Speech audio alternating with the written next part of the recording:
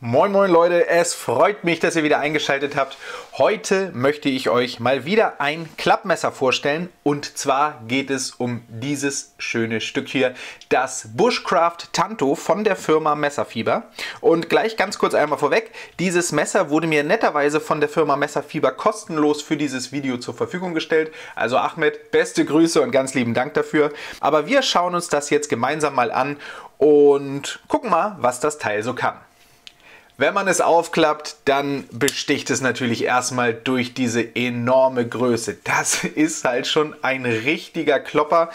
Gehen wir da gleich mal einmal die Maße ab. Wir sind hier bei einer Gesamtlänge von guten 25,5 cm. Auf die Klinge entfallen dabei knappe 10,7 cm. Und im geschlossenen Zustand haben wir somit gute 14,5 cm. Also das sind schon richtig brachiale Abmessungen. Dafür kommt es dann aber erstaunlich leicht. Also ich habe es in die Hand genommen und dachte, krass, damit habe ich nun nicht gerechnet. Machen wir doch da zur Abwechslung auch mal einen schnellen Test mit der Waage. Ich weiß es nämlich ehrlich gesagt auch gar nicht. Ich hatte es schon einmal nachgemessen, habe es mir aber nicht gemerkt. Wir kommen hier auf knapp 200 Gramm. Ja, aber bei der Größe relativiert sich das halt wieder. Vom Gefühl her kommt es einem irgendwie fast leicht vor, muss ich sagen. Als nächstes sticht dann natürlich sofort diese namensgebende Tanto-Klinge ins Auge, die ich sehr angenehm finde. Schöne ja, also hat natürlich schon äh, einen ganz speziellen Charakter für sich, ist jetzt aber nicht zu außergewöhnlich. Also wenn ich mir hier so die Gesamtlinie des Messers angucke, überzeugt mich das schon, finde ich ganz angenehm, relativ schlicht. Und dann kommen wir natürlich gleich zu diesem, ich habe extra nochmal nachgefragt, es ist stabilisiertes Holz, das aber mit ganz interessanter Maserung hier kommt. Also finde ich mal außergewöhnlich und äh, ja, richtig erfrischend. Da hat man da hat das Auge richtig was zum drüberwandern. Also er funkelt hier sogar so leicht. Das ist schon mal was Besonderes und äh, schlägt damit so ein bisschen aus der Reihe. Das finde ich ja ganz angenehm. Dann, wie bei fast allen Messerfiebermessern, hier dann so ein ähm, Figurenpin mit zwei so Steinböcken müssten das sein, denke ich jetzt einfach mal. Äh, sieht man es da einigermaßen. Was dem dann ja auch immer noch so einen, so einen gewissen ja, so nochmal so, ein, so einen kleinen Kniff gibt den Messern. Irgendwie so optisch finde ich das ganz schön, dass da einfach nochmal so eine kleine Auflockerung stattfindet. Die aber dann auch nur auf der Show-Side. Und ja, damit ist das Messer an sich ja jetzt gar nicht so auffällig. Ich würde mal von der, von der Grundästhetik her schon sagen, dass es ja eigentlich einigermaßen schlicht daherkommt, aber trotzdem durch diese, durch diese kleinen Kniffe, durch den Figurenpen, durch die, die verwendeten Materialien ist das irgendwie schon auch ein besonderes Messer und natürlich absolut durch die Größe. Das macht wirklich was her. Die Klinge Böhler 690 Stahl, also auch schönes, taugliches Teil und dann aber verhältnismäßig schlank sogar noch gehalten, was ich aber so auch ganz gut finde. Was will man mit einem Klappmesser machen? Ja, also beim Thema Bushcraft ist dann ja sowieso die Frage, inwieweit da ein Klappmesser die richtige Wahl ist. Aber wenn man mal sagt, man nimmt jetzt das nochmal vielleicht so als Backup oder so in die Hosentasche, da kann man schon gut was mit anstellen, aber zum Batonieren oder so würde man es ja eh nicht benutzen, weswegen ich da eine viel dickere Klinge in dem Fall auch gar nicht unbedingt für nötig erachte. Bei einem feststehenden Messer sähe das dann schon anders aus. Arretiert wird das Ganze hier hinten durch den Backlog. Der schließt sehr gut. Keinerlei Spiel in der Klinge, das funktioniert alles tadellos, rastet satt ein. Ich muss aber schon feststellen, dass man relativ viel Kraft braucht. Also gerade dadurch, dass das hier so ein kleines bisschen angefasst ist, dadurch wird natürlich die, der Auflagepunkt auf dem Daumen oder für den Daumen dann nochmal ein Stückchen geringer. Und da kann das teilweise schon fast ein bisschen wehtun. Aber es vermittelt auf jeden Fall ein Gefühl von Sicherheit. Es schließt sehr gut und sicher. Und ja, das sitzt alles stabil und wirklich zufriedenstellend. Könnte ein kleines bisschen, ja, jetzt war er gerade wieder, dass man doch echter doll drücken muss. Er könnte ein kleines bisschen geschmeidiger sein. Und insgesamt ist der Klingenlauf dann auch so ein minimales bisschen kratzig, was ich bei solch einer Art von Messern jetzt gar nicht so schlimm finde. Da ist mir dann die Stabilität dann auch einfach wichtiger. Aber auf jeden Fall, man stellt es dann doch fest. Insgesamt dann die Verarbeitung finde ich gut, jetzt nicht sehr gut. Hier auf dem äh, Griffrücken, das ist dann doch noch ein kleines bisschen rau. Das hätte etwas besser irgendwie noch poliert werden können, ist aber jetzt nicht bei der Handhabung oder so in irgendeiner Form unangenehm. Also das nun auf gar keinen Fall. Der Griff an sich, also das Griffmaterial, ist dann auch wieder schön abgerundet und lässt sich gut halten. Wir haben ja auch keinen Clip oder irgendwas, also Hotspots sind da auch sehr unwahrscheinlich, auch bei längerem Arbeiten. Das liegt einfach gut und solide in der Hand. Was mir dann wiederum nicht ganz so gut gefällt, das ist aber eher ein ästhetischer Mangel aus meiner Sicht, sind dann diese sehr tief versenkten Schrauben. Das hätte ich schon schöner gefunden. Hier hinten bei der Niete funktioniert es ja auch und beim Figurenpin sowieso, wenn das einfach bündig mit dem Griffmaterial wäre. Aber ja, oder mindestens so wie auf dieser Seite. Hier ist es dann aber doch schon sehr tief. Das ist so für mich eigentlich der größte Makel. Ja, kann man auch drüber hinwegsehen. Aber ja, wäre, wäre mir anders halt lieber. Aber ist jetzt auch dann nicht so schlimm. Beim Griff haben wir dann hier noch einmal G10-Liner zwischen den Stahlplatinen und dem stabilisierten Holz. Das äh, lockert das natürlich aber insgesamt noch mal ein bisschen auf. Und ansonsten, ja, hier haben wir dann ab und zu noch mal so kleine Unfeinheiten. Aber insgesamt ist das auch gut gemacht. Ich gucke hier noch einmal so komplett rum. Ja, an der einen oder anderen Stelle hätte noch ein kleines bisschen sauberer gearbeitet werden können, aber so finde ich das insgesamt schon sehr gut gemacht. Und durch diesen rustikalen Stil, ähm, ja, ist das einfach ein stimmiges Gesamtbild. Also da habe ich für mich persönlich jetzt wenig dran zu meckern.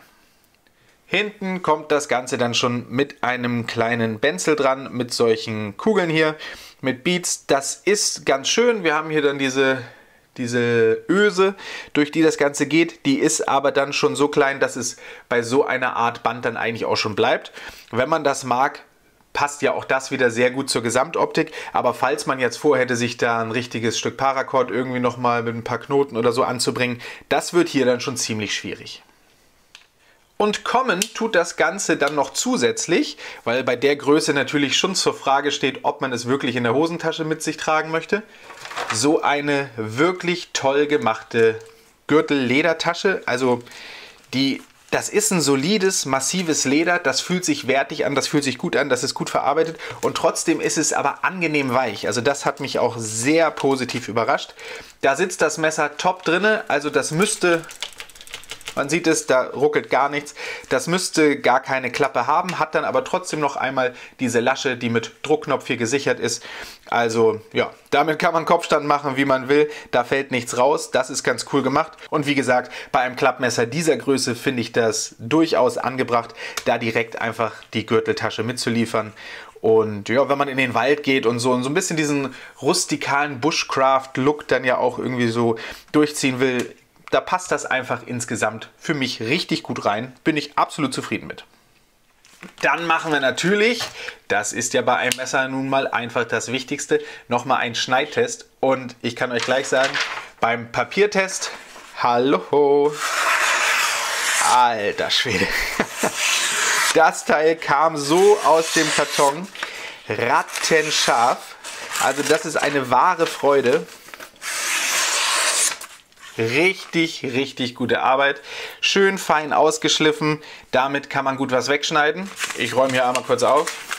Aber bei einem Messer, das sich klar auf das Thema Bushcraft bezieht, da wollen wir natürlich auf jeden Fall auch noch härtere Schnitzaufgaben haben. Deswegen gehen wir jetzt einfach noch mal kurz raus und ich werde damit ein kleines bisschen schnitzen und noch ein paar andere Materialien durchschneiden und dann schauen wir noch mal weiter.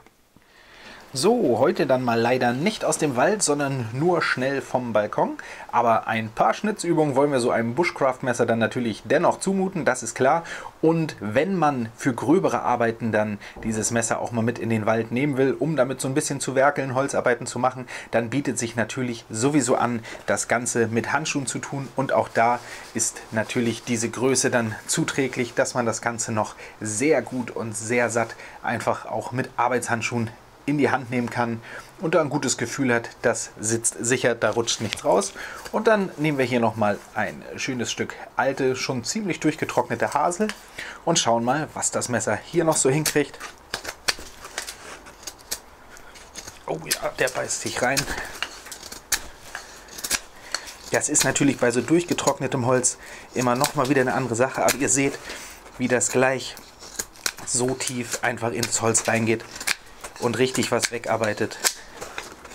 Also, ja, damit bin ich absolut zufrieden. Mal hier so ein bisschen einkerben.